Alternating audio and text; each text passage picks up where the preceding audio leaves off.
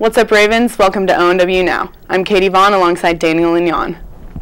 For those of you who don't know, there is no school on Friday of this week, and next week is parent-teacher conferences, so there will be no school on Thursday or Friday as well.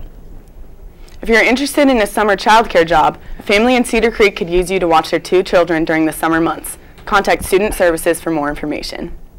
Have five bucks and someone special you want to wish a happy Valentine's Day? Then ONW is a sweet place to be. For only $5, someone special gets a bag filled with a cookie, candy, and a note from you. Get the order form in the office, and Project Grad members will be selling bags at lunch. Let's take it to Cameron Keatsman for a special feature, Helping Around the World.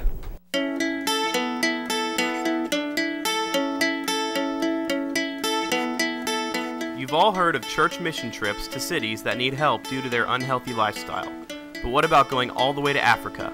Sierra Higginbotham, a junior here at Olathe Northwest, got just that opportunity that will stay with her for a lifetime. I went to Africa because um, I got offered to go on a mission trip by my friend Paige, and I've always wanted to go to Africa since I was in like third grade. So I took up the opportunity, and yeah. The main purpose of the trip was to visit orphanages and soup clubs and comfort lots of kids. But Sierra has some things that she will never forget. Um, there's a lot of things that happened on the trip that I will never forget. But one specific story is we were at an orphanage and this little girl came up to me and I held her and she was probably about two. And I held her for maybe 15 minutes and when I went to go set her down she started crying and calling me mom.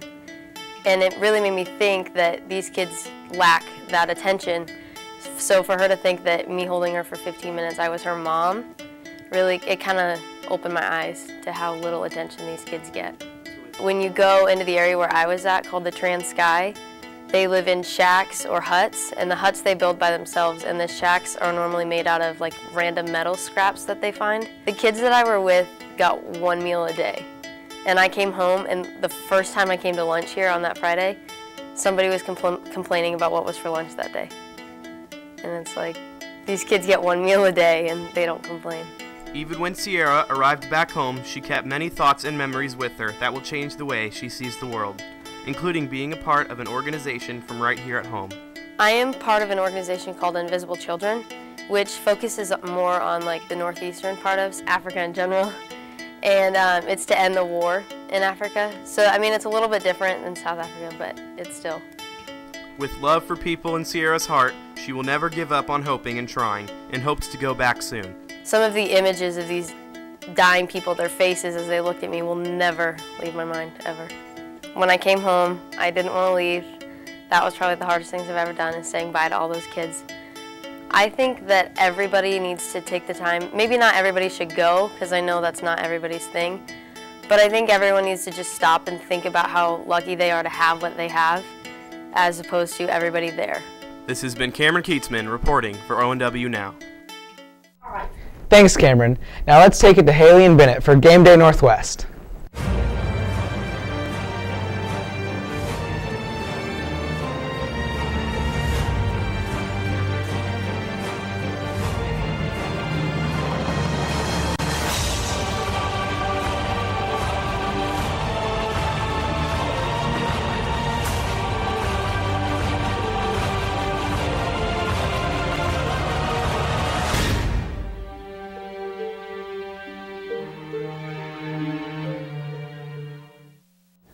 What's up, Ravens? Welcome to Game Day Northwest. I'm Haley Pitcairn alongside Bennett Hofer. This past weekend, the varsity girls basketball team traveled to the Newton tournament and won the title of tournament champs. With juniors Kelsey Brooks and Jayla Jackson leading the team to a championship, Brooks had 12 points and Jackson had 11 the night of the game, with a winning score of 46 to 42 over the host team. Congratulations to the varsity girls basketball team. On another note, the boys basketball team is setting high standards. Last night they stomped on Shawnee Mission East, 55 to 32. Senior Siobhan Shields had a stellar performance. Let's take it to Tanner Busick and my colleague Bennett Hofer for the beat.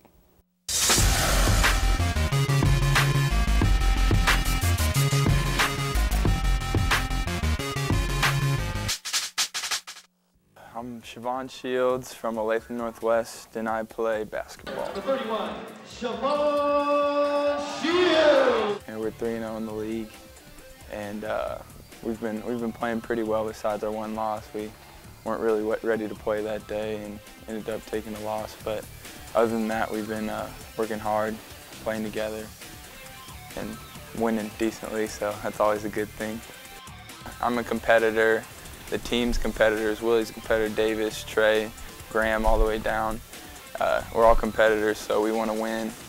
The one thing I can't stand is losing, more than anything. So when we when we have a big crowd and everyone's going crazy and everything, it like picks up the energy as a team. Like, want you want to play harder for your fans and everything, and like you appreciate them there. Yeah, thanks for everyone coming too. I mean, we've had great support this whole year, and I mean that just really gets the team going. So we appreciate it.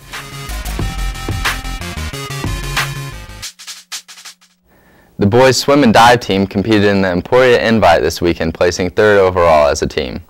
Senior diver Drew Egan placed second and freshman diver Josh Reed placed ninth. Congratulations to the swimmers and divers.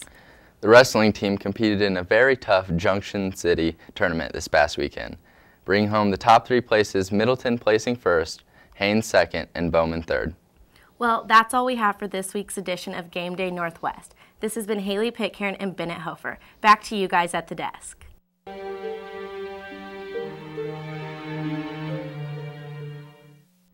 Help Us Learn, Give Us Hope is a statewide organization that collects school supplies to send to children in Africa, Iraq, and Afghanistan. We're collecting all kinds of school supplies through Friday. You can drop off the materials in Mr. Morgan or Miss Ingles' room. If you have any questions, please contact Dr. Sinna in the quest room. Let's take it to Kenya for a look at Jeans for Teens. Imagine if you didn't have any jeans. Right now, one in three homeless people in America are 18. So do something. Do something. Do something. Clean out your closet. Clean out your closet. And bring any gently worn jeans now until February 10th. The school that collects the most jeans gets $5,000. New Aeropostale jeans for every student. And a party for our entire school. So make a difference now. And give someone a pair of jeans. With, With Teens for Jeans.